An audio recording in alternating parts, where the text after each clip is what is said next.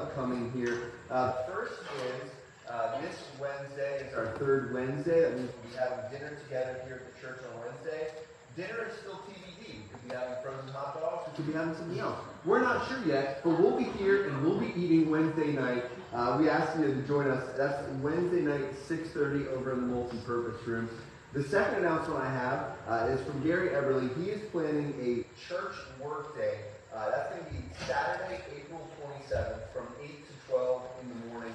Uh, and uh, he had a number of jobs. There's going to be some flower bed work, some power washing, cleaning windows, stuff like that. Uh, his words to me were, we can find a job for anyone, no matter your skill level. I can confirm that personally. When I came my first uh, Saturday workday years ago here when I started at Colerain, uh, Gary realized my level of skill and had me escape, uh, scraping grout, or not grout, uh, but scraping and cleaning the air conditioner vents out of the wall, which is about my level of skill. He realized that quickly. He read me very well. That is my level of skill. But we can find a job for anyone. Uh, and I'm not going to be able to be here that Saturday the 27th. So this coming Saturday, the 20th, I plan on being over here from 8 to noon myself uh, to do some inside cleaning, do some dusting and vacuuming, stuff like that. Uh, here in the sanctuary, over in the kitchen, uh, and start doing some general cleaning. So if uh, you want to join me next Saturday, feel free to. I'll be here regardless from about 8 to 12. I invite you to join me for that. Uh, and then this coming Friday, uh, we are going to be showing the first two episodes of season four of The Chosen here at Corey. And that's going to be at 7 p.m. this Friday. If you have not started watching The Chosen yet, uh, you've got five days to binge the first three seasons uh, and get through them. It's, it's been an incredible show. And so uh, Lou is going to be doing that for us here Friday night at 7. I'll be here as well. Uh, we invite you to join us for that. We're looking forward to it. Uh, church, this morning, if you have your Bibles, turn with me to Ephesians chapter 2. Uh, as we prepare for our call to worship this morning, uh, Paul writes to the church in Ephesus, and some of the most foundational truths of the gospel that Paul highlights are found in the book of Ephesians. Uh, and some of my favorite is found in the first 10 verses of chapter 2. He's writing to this church that he loves so much in Ephesus. He's reminding them of where they came from before Jesus. And he says in Ephesians chapter 2, and you were dead in the trespasses and sins in which you once walked, following the course of this world, following the prince of the power of the air, the spirit that is now at work in the sons of disobedience, among whom we all once lived in the passions of our flesh, carrying out the desires of the body and mind, and were by nature children of wrath like the rest of mankind. But God, being rich in mercy, because of the great love with which he loved us, even when we were dead in our trespasses, made us alive together with Christ. By grace you have been saved, and raised us up with him, and seated us with him in the heavenly places in Christ Jesus, so that in the coming ages he might show the immeasurable riches of his grace in kindness towards us in Christ Jesus. For by grace you have been saved through faith. And this is not your own doing. It is the gift of God.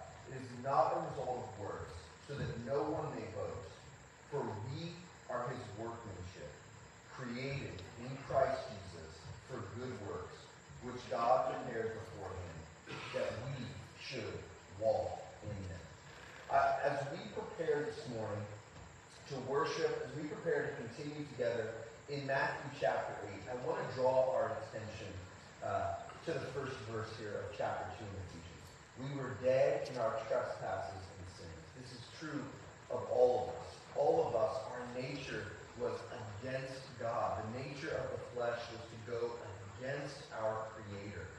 And then in verse 4, we get uh, one of my favorite, you hear referred to as but statements. But God, being rich in mercy because of the great love with which he loved us, even when we were dead, made us alive together with Christ. And Before we even dive into Matthew chapter 8 together this morning, that is the truth I want forefront of our minds. That while we were dead, it is Christ Jesus that makes us alive again. Would you pray with me this morning? Jesus, this morning, we thank you that you are the Word made flesh. We thank you for the Word of God. We thank you for the truths found. And Lord, we thank you this morning, as Paul points out for us, for your mercy. That, Lord, you're not just making us good, you're not just making us better. Lord, we were dead and you have made us alive. And would we just relish in the beauty of that truth this morning as we worship a God who is worthy of our worship. Jesus, you are good, you are holy, and we thank you, Lord, that you are sovereign. Uh, Lord, as the world around us shows us constantly, there's just so much upheaval, there's so much hatred, and there's so much division. But Lord, not one single thing that is happening right now in our world is surprising you or catching you off guard. You are sovereign over everything that happens. And Jesus, I pray that we would rest in the truth of your sovereignty this morning. That we would not panic and feel like we have to figure things out and we have to fix things that are not within our control.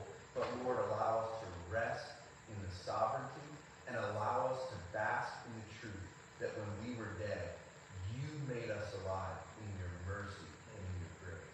By grace we have been saved, not our works. We thank you for that this morning, Jesus. Be with us right now as we worship. We love you so much, Jesus. We pray these things in your name. Amen. Amen. Good morning. oh man, church! What an awesome reminder uh, of that. You know that we can sing the God who's merciful, who's faithful, who leads us and guides us, and that is a joy that we receive, and it's why we sing this morning. It's why we worship. It's why we lift high the name of Jesus. Amen. So let's get a joy this morning. Let's all stand together, and as we enter into His presence and sing His holy name.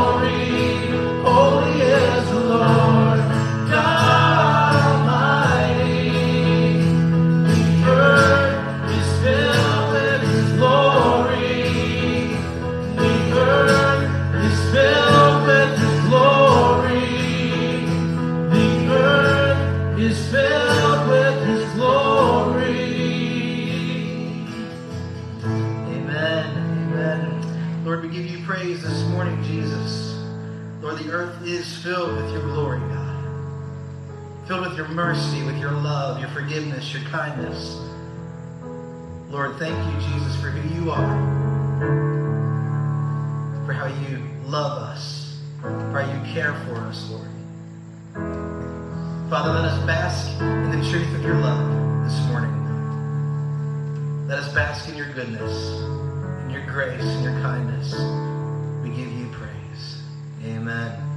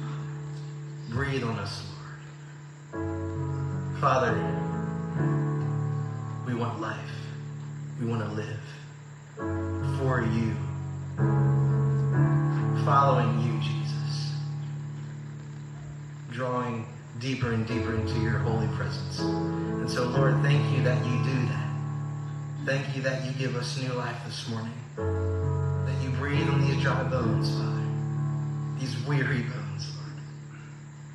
And you say, live, live. Thank you, Jesus, for the life that's found in you. You are worthy of all praise. You are a good, good Father.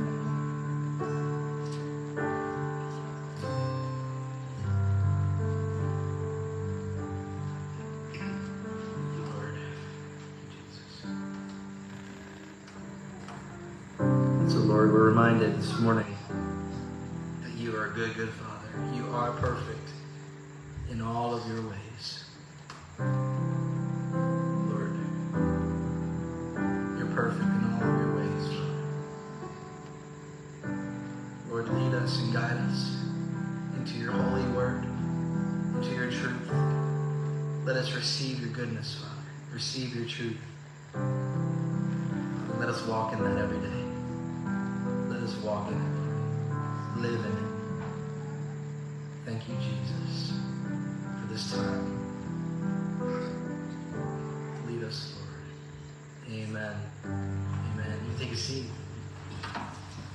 We'll go ahead and dismiss the kids, head downstairs to the kids' church as well. Church is really good to be back with you this morning. It's been uh, several weeks, but we are going to be resuming looking at Matthew chapter 8 together this morning. Um, we've already been about halfway through Matthew chapter 8, kind of taking us back a few weeks before Easter. Uh, so far in chapter 8, uh, we have seen Jesus uh, coming down off of preaching and teaching, uh, followed by a, a, great crowd. This is the very first verse of chapter 8. He came down from the mountain, and great crowds followed him. Um, we see a, a, leprous man come to Jesus and be healed. We see Jesus make his way back to uh, the place in which he stayed, Capernaum, uh, and a Roman centurion coming to him uh, and asking for his servant whom to be healed. And we see Jesus healed that servant from afar with a word. And when we looked at uh, Matthew chapter 8 the last time together a few weeks back, uh, we saw Jesus healing many people in Capernaum. And what we see there is the distinction that he wasn't just healing physical sickness, but then people with demons uh, begin are, are, brought to him, and we see him start to exert this authority over the spiritual realm as well. And that's where we pick up this morning. Matthew chapter 8, looking at verses 18 through 22. We see Jesus uh, continuing here to, to teach, but not in a formal setting like with the Sermon on the Mount, but teach in the moment as people come to him. Uh, verses 18 through 22 says, Now when Jesus saw a crowd around him, he gave orders to go over to the other side. And a scribe came up and said to him, Teacher, I will follow you wherever you go. And Jesus said to him, Foxes have holes and birds of the air have nests, but the Son of Man has nowhere to lay his head. Another of the disciples said to him, Lord, let me first go and bury my father. And Jesus said to him, Follow me and leave the dead to bury their own dead. Uh, since he has started teaching here in the book of Matthew over the last several chapters, uh, the crowd following Jesus has been growing steadily. We see a lot of the Gospels kind of speaking to this, especially the book of Mark. Uh, Mark very often points out the great crowds that surrounded Jesus. Even at one point, when we have the woman with the issue of blood coming to him as he's making his way to Jairus' house, the crowds are so great around him that when she touches the hem of his garment, and Jesus says, Who touched me? The disciples almost laugh and say, You see all these people around you, and yet you ask, Who touched me? We get this imagery throughout the Gospels of describing this growing movement that Jesus is often moving through crowds that are crammed together like sardines, and the, the disciples and Jesus are kind of having to work their way through the crowd. And this continues throughout his ministry. As more and more people uh, are around him and seeing the miracles that he's displaying, as more and more people in the surrounding areas are, are hearing the news of these miracles, these were not things that uh, we see Jesus multiple times throughout the Gospels perform great miracles and then say to people, especially early in his ministry, go and tell no one about this. And then we see some of those same people immediately go and start telling everyone about this. When you have been a paralytic or a blind person your entire life and a man comes and gives you sight, something tells me the news about that is going to spread. That's going to travel. And we see that with Jesus. And so we start to see people coming from distances away to hear him teach, to see him. This is not an uncommon thing in human history. Literally, six days ago, millions of people converged on a thin line through our country because they knew that they would see an eclipse in totality. They knew that they would see something amazing. And so throughout human history, when people hear about amazing things, they're going to go travel to see that thing. People are doing the same for Jesus here early in the book of Matthew. They're traveling far and wide, some maybe to hear him teach, uh, some maybe with the intent, as we see this morning, of following him as a disciple, uh, and most, we can say, coming because they want to see a miracle. They want to see him do something incredible. And so the crowd is growing. There's a momentum around Jesus that is growing here, and we need to pay close attention to how Jesus responds to this. Right away in verse 18, it says that he sees the crowd around him. He sees the growth. He sees this attention starting to turn towards him. And it says he gives the disciples orders. He gave orders to go over to the other side. The context here, they're by the Sea of Galilee. And as the crowds around him are growing, he says, We're going to go over to the other side of the Sea of Galilee. Effectively, what he is saying here is there's crowds here. We're going to move away. We're going to go to the other side and get away from these crowds. And this is so counter to what we see other leaders throughout human history do. Typically, when you have a movement that is beginning to gain followers and beginning to gain momentum and it's starting to grow, you would put yourself in the midst of those crowds. You would continue what you've already been doing to grow those crowds. You would try to grow that movement quickly. And in seeing Jesus do the opposite, we're seeing the differences between the kingdom of God that he is proclaiming in his ministry and the, the earthly movements of men here on earth. Many men and women came and followed him because they wanted to see something amazing. They wanted to hear great teaching.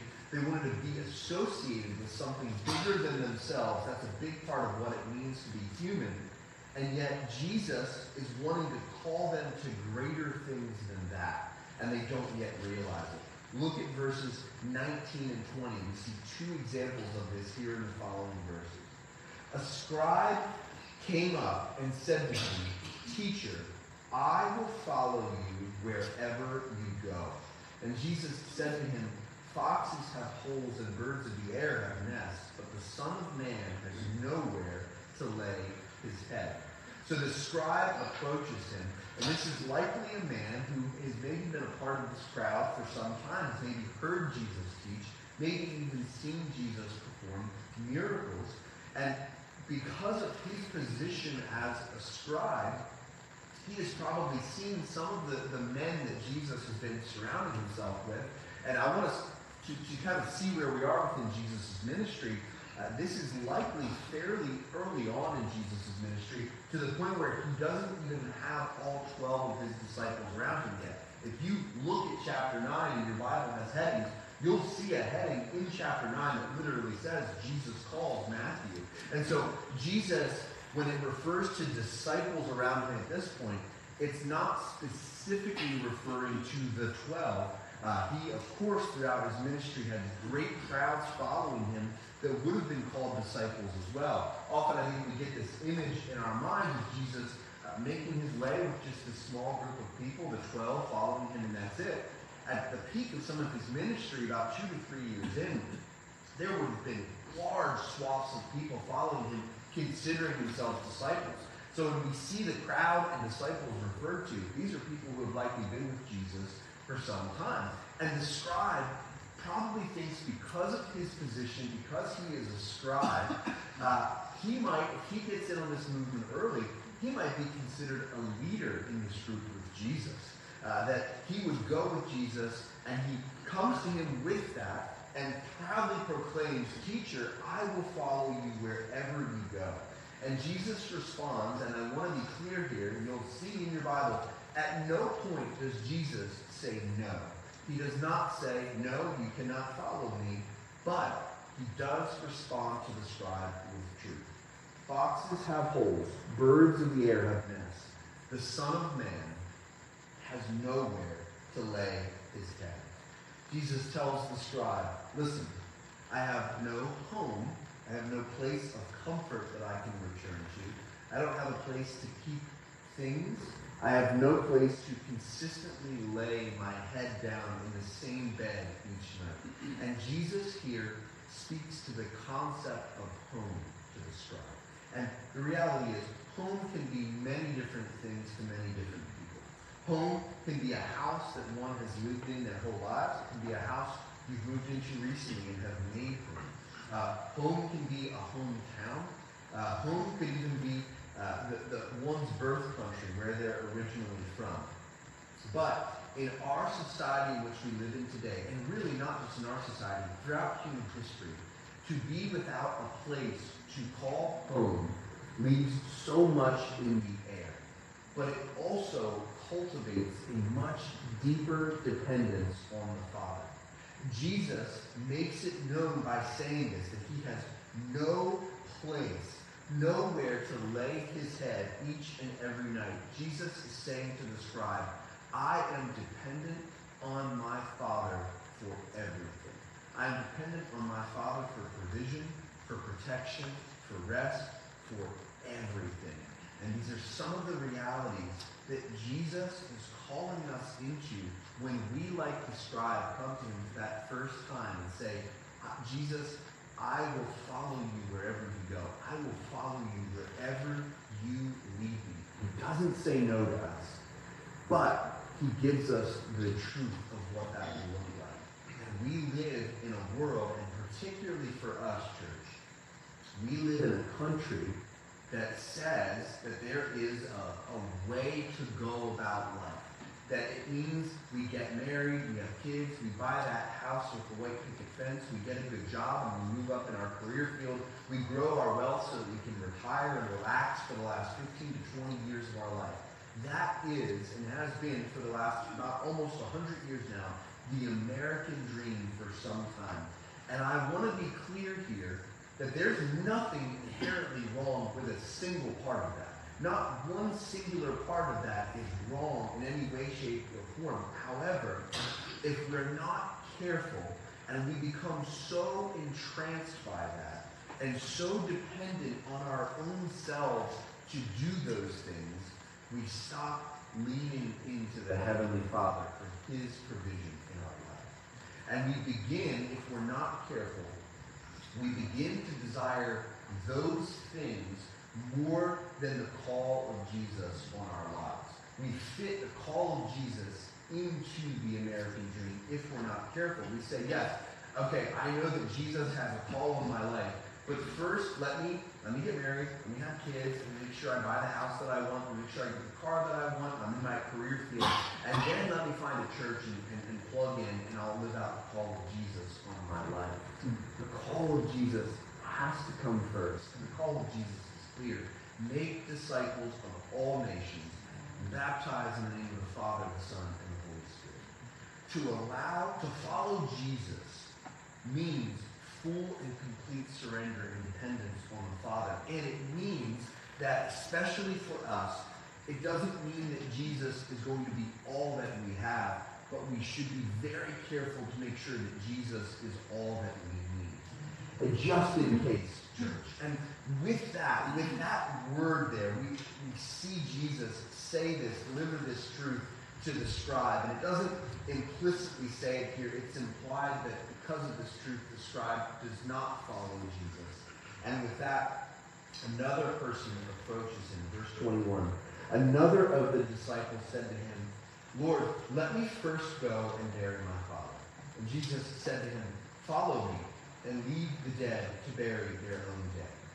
Here we have another person, again, given this title of disciple, and indicating this is likely someone who has followed Jesus for some time.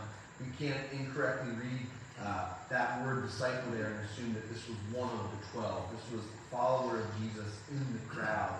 Uh, and he's probably, again, seen Jesus do amazing things. He's heard his teachings, and he's saying here, Jesus, I want to follow you. I want to follow you full time. I want to go with you. He wants to be one of the disciples. But first, let me go and bury my father. And often, when we read this, we do so thinking that, okay, the father has passed, that his father has recently passed, and he is coming to Jesus saying, I'm in the middle of you know funeral arrangements and burial arrangements. Let me go and take care of this, and then I'm going to, to come and follow you. This is not the case. This man is actually saying to Jesus, I want to follow you, but my father is still living. He's getting older. Let me go and live in his house, and I want to take care of him in his later years. And when he has died, I want to, bury him. He wanted to follow Jesus, but he wanted to do so at a time and in a way that was convenient for him. And I want to be clear here as well, as I was in talking about the American dream. What he's requesting here is not an absurd or crazy request. This is a common familial duty in the days of Jesus. That as a parent would age, their children would take care of them. There's a reason that Peter's sick mother-in-law is at Peter's house. That was customary in Jewish tradition.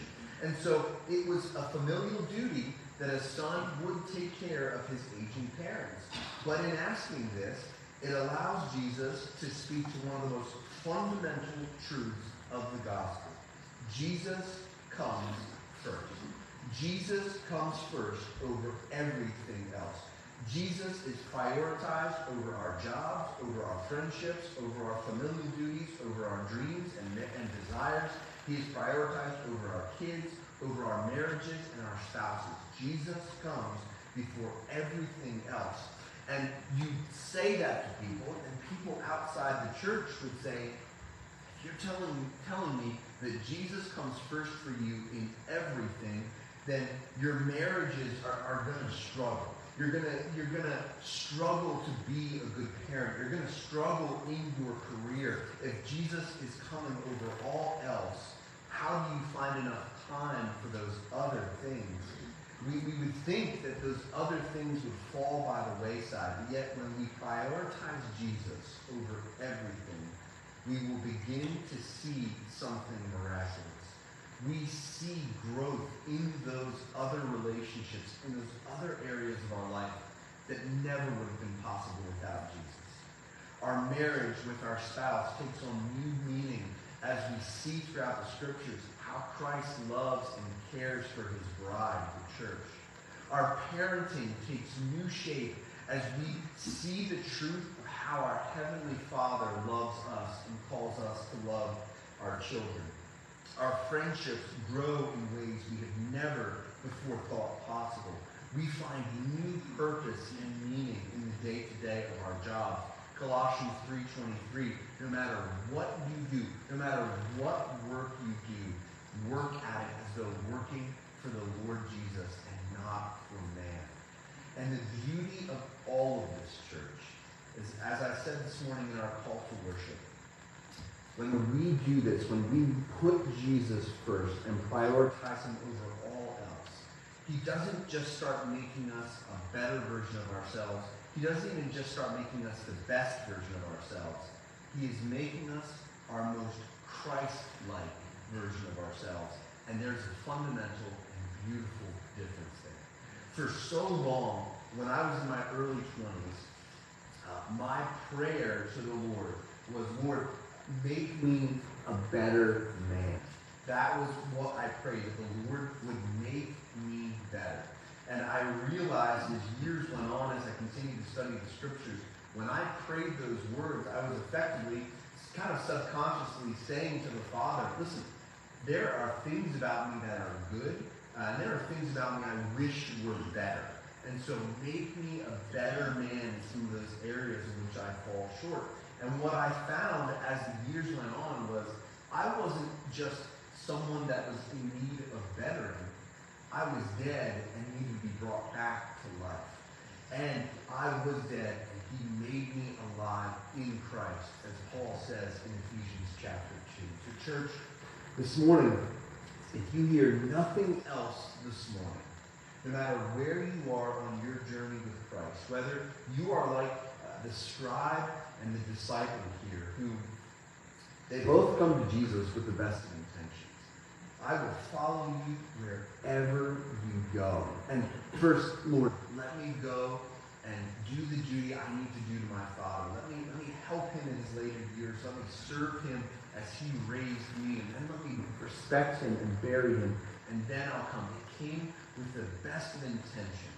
Whether you are uh, like Peter, had been a disciple for some time, and whether you might be at the end of walking with him for some time, and you're getting that place where you're ready to go and see him face to face. I think of the words of Paul when he says, Oh, I want to depart and be with the Lord Jesus. I know that I need to be here. Uh, I know that I need to be here for the sake of the church, but my desire is to go and be with the Lord. No matter where we are on that journey with Jesus this morning, we have to be aware that Jesus is not just making us better, he is making us new. He is not just making you an improved version of who you are. I, am not, I don't want to be Bryce 2.0. He, I wanted to take something that is dead and I want him to breathe new life into it. Patrick referenced this morning the book of Ezekiel, chapter 37, that the dry bones, uh, and Ezekiel stands and witnesses the flesh being placed on these bones and standing before him. But there was no life until the Lord said to Ezekiel, prophesy breath over these bones. And at that moment, the breath of the Lord enters into those dry bones, then there was life. And that is what Jesus is bringing. That is what we're seeing fulfillment of. In Ezekiel 36, we see the Lord tell Ezekiel that he wants to replace our hearts of stone with a new heart of flesh, a new heart of flesh, a new spirit within us. And that is what it means when Paul says we were dead and now we are made alive in the Lord Jesus. And so, church, this morning, I want us to center our hearts on that truth as we prepare for closing worship here. He's not making us better. He's not taking something that is uh, that is in need of improvement and making improvements. He is taking something dead and making us new. And in order for that to happen, there has to be complete and total surrender. That it's no longer about my desires and wants. It's about what he has for me. And it's no longer about uh, taking care of our earthly duties. And once I'm in a good place, then I'll follow Jesus. So many people are going through life, and whether they would say this out loud or not, so many people are going through life with this mindset of, I'm going to live kind of how I want to live for about the first half of my life. And then as I get later in life, as I start to slow down, then I'll plug into a church. And then I'll walk, you know, I'll walk with God, I'll walk in what the Lord has for me. It's a beautiful thing, but I'll do that later. Jesus is calling us now. Follow me and leave the dead to bury their own dead. He wants every last bit of us because he loves us, church. That is who he is. Would you pray with me as we prepare for worship? Jesus, I thank you this morning that you are not just uh, taking something that has a couple of flaws and working those flaws out and making it better. Lord, you are taking something dead and breathing new life into it. Jesus, would you breathe new life into us today? Lord, would you fill us up right now in the Spirit of God? Lord, we want to be filled to overflowing so that as we leave this place, Jesus, the love would just pour out that we would, just by our very daily actions, by the way that we, by the way that we work, by the way that we parent, by the way that we love our spouses, just in the simple day-to-day of life, we would point people back to you. That is what we want, Jesus. Let us live lives that shout the love of Jesus with our words and with our actions. Lord, we want to go deeper. Stir in us that desire for more of you, God, for more of your word, more of your spirit, for more of you, so that we can see the unsearchable riches, the depth of Jesus Christ. Father, we love you. Be with us this morning as we close in worship and as we leave this place. We pray these things in the name of Jesus. Amen. Amen. Let's all stand.